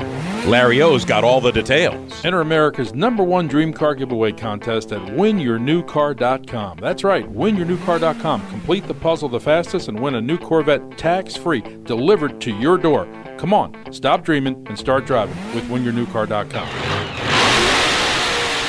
We're growing like crazy and need account reps who know their way around agencies, the internet, and social media. Got connections? Or do you know how to get to the decision makers? Are you fearless? We need you. Internet radio, or as we call it, wireless mobile radio, is rapidly becoming the place to be with almost limitless income potential.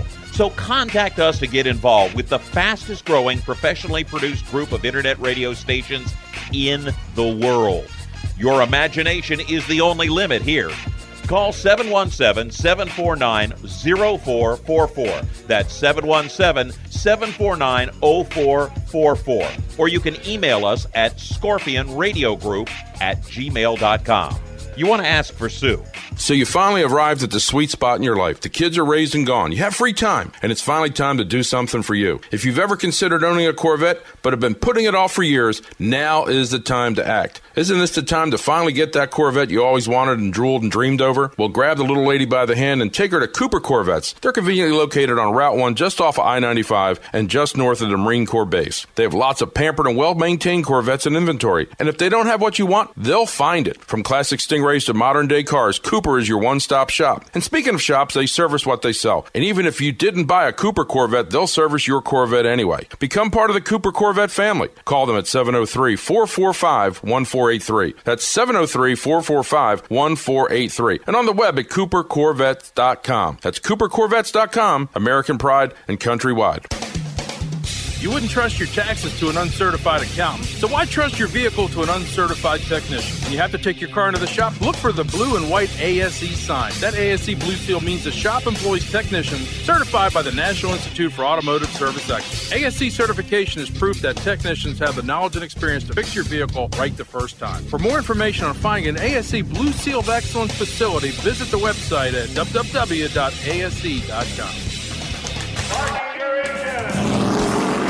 Hi, this is Carl Edwards here for RAD, the entertainment industry's voice for road safety. You want to make a difference? It's simple. Be responsible. Plan ahead. Designate before you celebrate. Friends don't let friends drive drunk.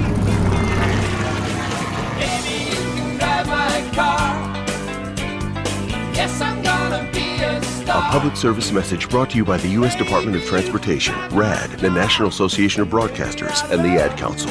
You're listening to Speed 77 Radio on the Performance Motorsports Network. Now back to Jacob, Tom, and Kyle on Motorsports Madness. Yeah, let's throw some shrimp on the bobby, shall we? I'm excited because not only did I just get a food reference in, but we get to go down under and talk V8 supercars with our own Australian James Pike. And you know, James, I love it because when everything else ends for the year, the V8s are still rumbling down south of the equator. This is going to be fun. We had some thrilling races over the weekend, and we have a 20 year old that just doesn't quit. I love it. Uh, 21 if you really want to get technical. Uh, but yeah, no, we'll. but yeah, uh, there are many stories that came out of Phillip Island, but I think we'll start by focusing in on the round uh, aspect of it. And tip of the hat to Scott McLaughlin, who was just fantastic all weekend long. Two wins, a sixth place, and finish in the second race on Saturday. Uh, although one of those wins, Jacob, was uh, uh, wasn't looking like it was going to happen until, oh, say, maybe about hundred feet from the start finish line. You want to call it that? About?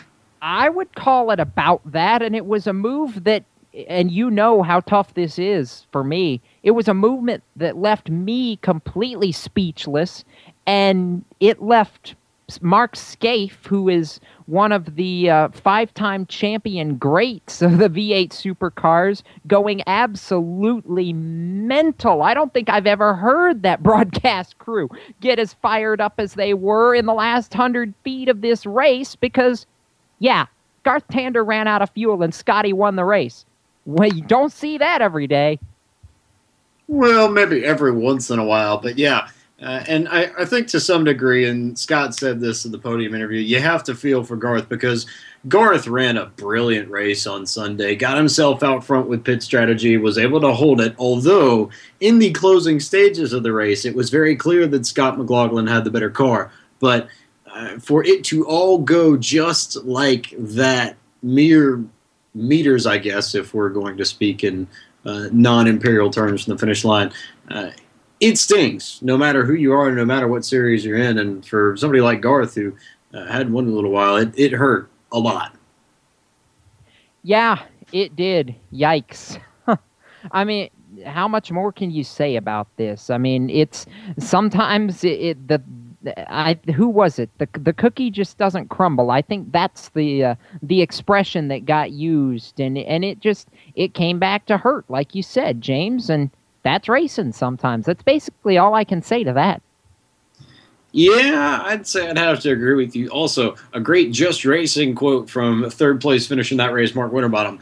When you can get the best result out of all you've got, then that's what you got to be happy with. So uh, I don't know if that's a racing quote or a John Madden impression, one of the two maybe. but uh, yeah, busy, busy day on Saturday. But uh, that was all after the major business on uh, Saturday, rather. Uh, uh, I was just talking about Sunday. I need to get my day straight. But regardless, Saturday. Australia. we crowned a champion elect. Uh, there are penalties in theory that could come down and take away uh, this man's title. But Jamie Whincup goes out, wins the second race of the day on Saturday, claims a record breaking sixth championship in the V8 supercars. And, you know, we can look at the numbers and we can say just how great he's been this season. But I think at this point, you have to start looking at Jamie in terms of the all-time greats, uh, because he very clearly is not just the greatest of his generation. He very well might go down as the greatest of all time to run in either the V8 Supercars or the Australian Touring uh, Car Championship. 61 poles, 87 wins. Uh, oh, by the way, I was just checking this. You know how many wins Craig Lowndes has in this 97. season? He's got Oh, 97 in, in in this season. in Um, this season. Three, three, I think. Three, yes. Jamie's got 12. He wins one at Sydney. He goes 10 up on Lowndes for the year. You know how many races he's down all time to Lowndes right now? 10. 10. So, in theory, if he can match this performance next year, we could very well see Jamie Whincup take the all-time wins lead away from Lowndes about this time next year. And uh, Jacob, maybe it's just me, but I feel like that'd be a really, really fun story. Oh, it would be a great story. I think, uh, honestly, I think Jamie's already the greatest of all time when you stack the wins, the championships, the poles all together. Uh, but you look at this, the, the key word to this, James, is the fact that he's got to keep this performing next year. He's got to keep this ratio the same next year. There's one problem. Some guy named Ambrose is coming back next year. And not just next year, he's coming back in about three weeks at Homebush. I'm excited. I'm really excited.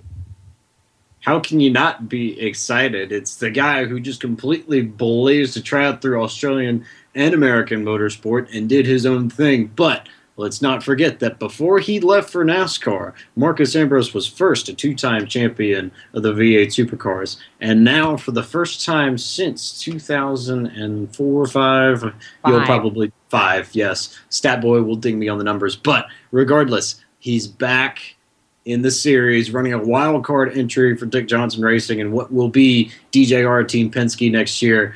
Uh, Going to get a test in, I believe, some point between uh, now and then. But regardless, uh, if Jamie Whincup needed a challenge and a reason to stay home and think, you know, well, I've done everything. What more can I do? How about Beat Marcos beating, Ambrose. beating Marcos Ambrose head to head? He said it was such an honor to ride behind him when he raced Marcos Ambrose back in the very, very early stages of his career. Now I think the tables have turned a little bit. Jamie will be the overwhelming favorite to claim a seventh championship uh, next year. But uh, I, I guess we really have to start asking ourselves what can Marcos bring to the table, and just how good can that team be right off the bat? Are they going to be championship caliber? I Yes. know, yeah, Tom, you, you probably have something to say about this, so why not explain to us why DJR Team Penske is going to be right in it for the title in 2015? Well, I, here's why I think, and look, I'm not saying that Jamie Whincup is suddenly going to be second best, but anybody who pays attention to what makes a leader, what makes a championship organization, if if you applied all of the principles to any organization in motorsports, it would have to be Penske Racing. Roger Penske knows how to build championship organizations. Look at this year. He had a chance going into this past weekend. He had a chance to have a year where he wins the IndyCar title, the uh, and the Nationwide Series title, at and the Sprint Cup Series title, all in one season. It just doesn't get better. I firmly believe that Penske and Dick Johnson and everybody involved in that group has been doing their due, due diligence for months understanding the new cars, trying to, to ramp themselves up so that they come out of the box and are able to race for a championship next year and, and make sure that Marcos has everything he needs to chase Jamie Whincup for the title next year if Marcos can adapt quick enough. And that's what I really, I honestly believe anybody who thinks this organization is going to start 2015 off at some sort of disadvantage is absolutely kidding themselves. I say it starts in three weeks. That that that's their learning curve, and by 2015, Jacob, they're coming out of the box and they're going to be running for a championship.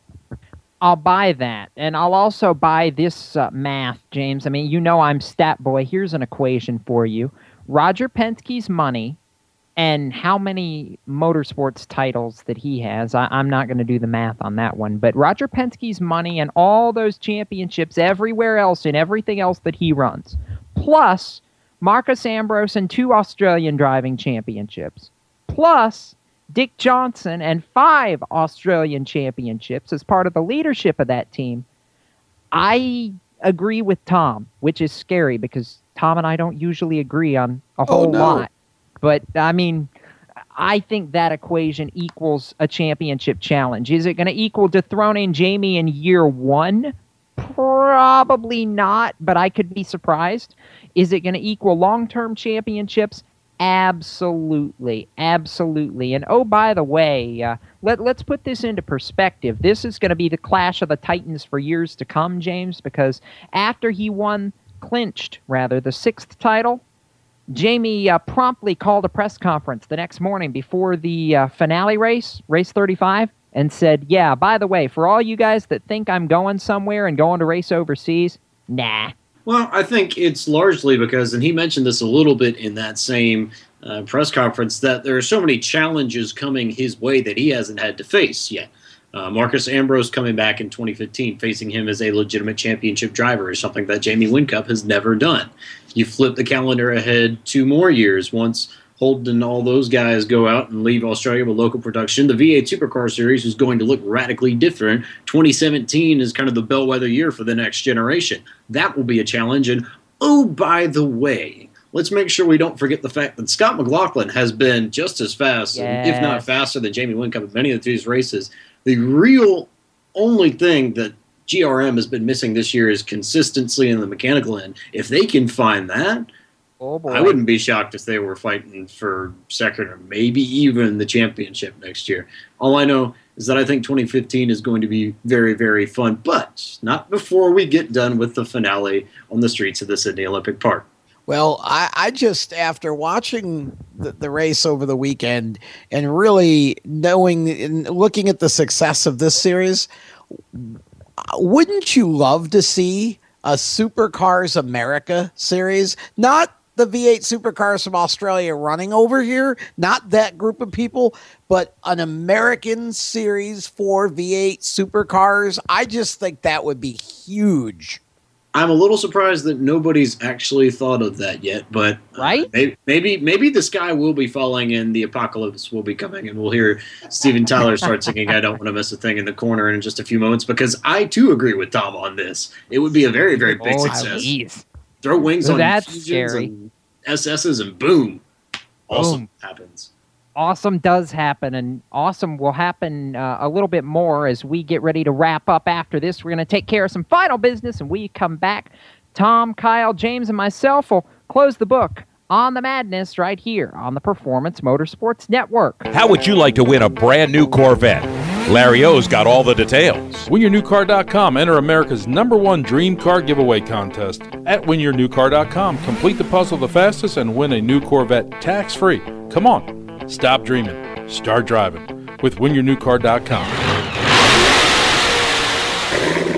You hear that?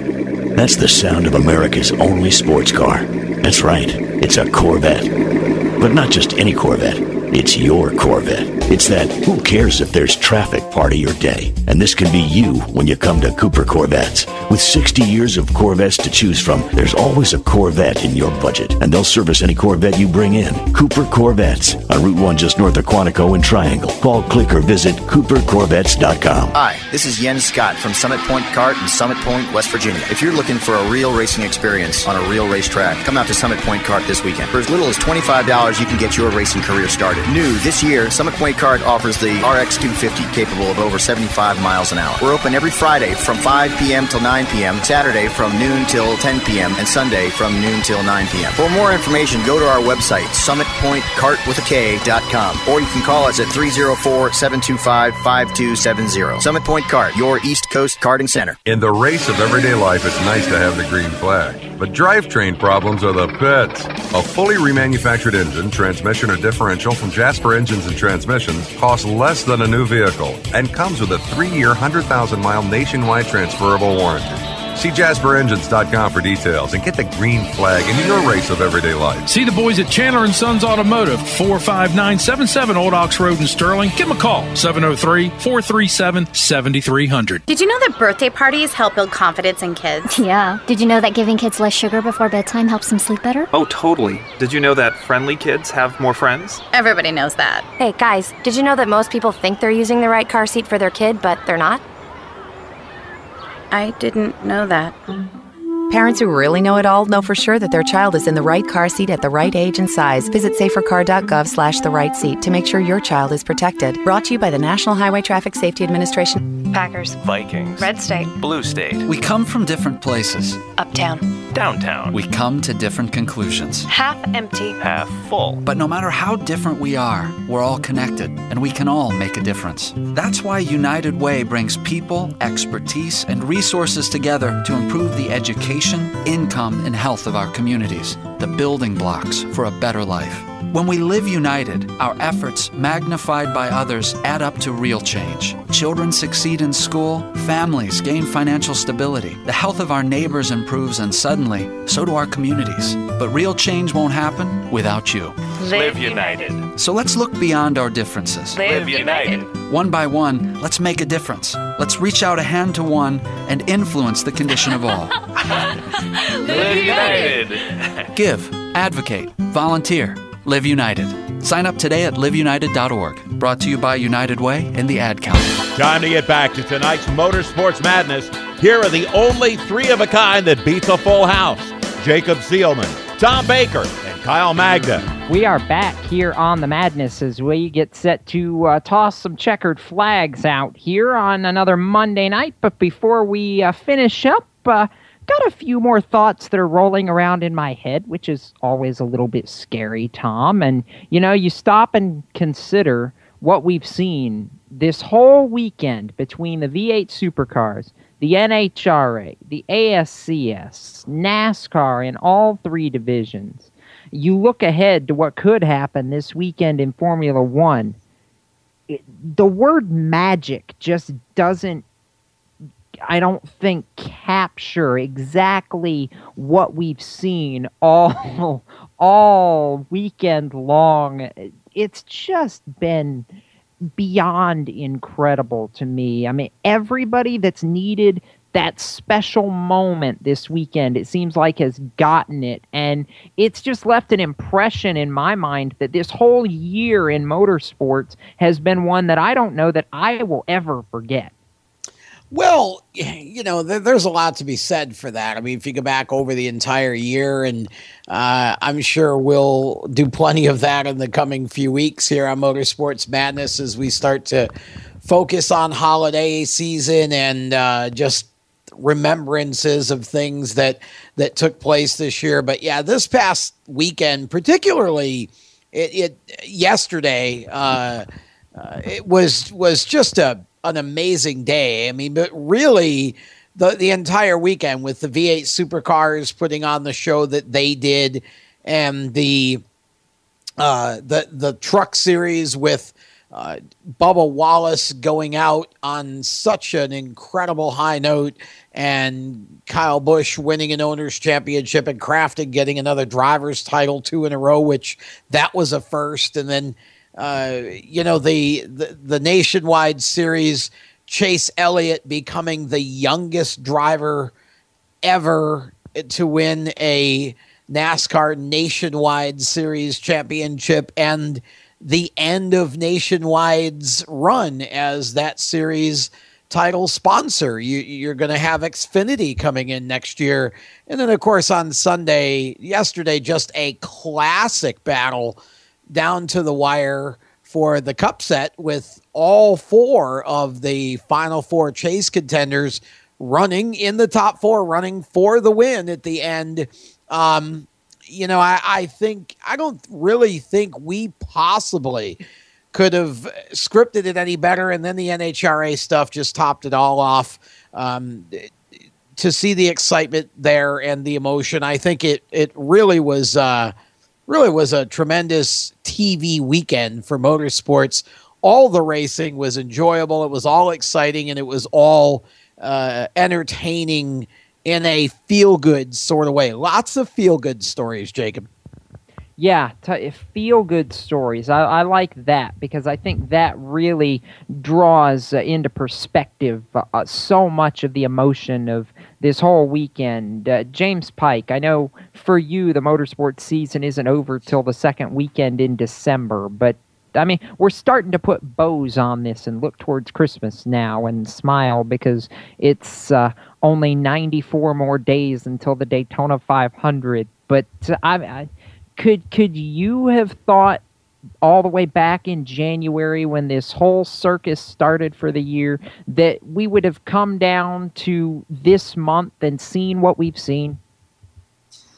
Well, maybe if I had a better crystal ball, I guess I could have seen it. But uh, I, I think, especially uh, not to harp on NASCAR, but going back to the chase, I know uh, when we first got word of this new system, I remember just completely slamming it and thinking, "Robble, robble, robble! This is no way to determine a champion, and you can't use one track to determine a champion for the whole season and what have you and whatnot."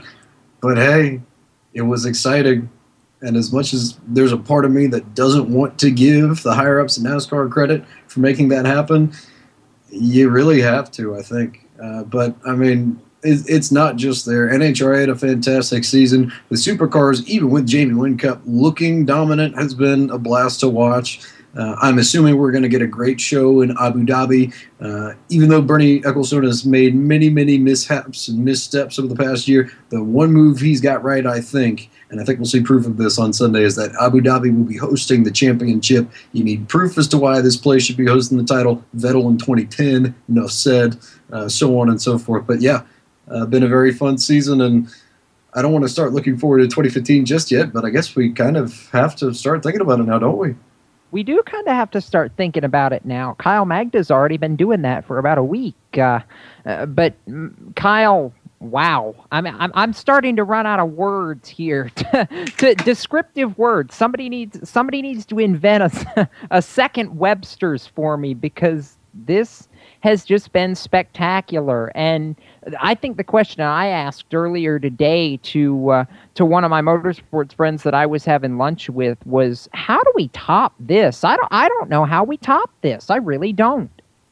Yeah, it was just a great season in general, and you know all of, all the places that I've been this year. You know, being from NHRA to NASCAR to IndyCar, just it's been crazy. But I mean, at the end of the night, last night, I was just speechless in a good way and you know just you know there's so much happened this season in all three NASCAR series. Like you know like you guys said with IndyCar and HRA and just what a season in general. And you know we still have V8 supercars in December first week. Same same weekend as the Snowball Derby I believe. So uh, it's going to be a great yes. uh, end of the season. Still have the Turkey Derby uh, not this weekend but the weekend after. And uh, that's at Wall Stadium in New Jersey. So still we got some racing in the season. And then you know looking looking forward to a bright future in 2015. Yes, a very very bright future, I think. And and Tom, I, I, you know, uh, what can you say? I mean, it's it's been fun, and the madness getting ready to come to a close. But uh, the the best part about this is uh, Wednesday, Friday. Guess what? If anybody out there uh, may not have been able to hear us tonight, they can hear us again. That's a scary thought. yeah, or if you just want to listen to us again. I mean, you know, we're we're uh, I guess at least one person would say we're just that good, but um, it's not sure who that is, but I'm sure we can find somebody. Not me. Enough. Uh, yeah, and uh, on a couple more times on the Performance Motorsports Network this week, so be sure to check the uh, the website performancemotorsportsnetwork.com for re-air times for our our show. And uh, we really enjoy doing this. We're looking forward to next monday.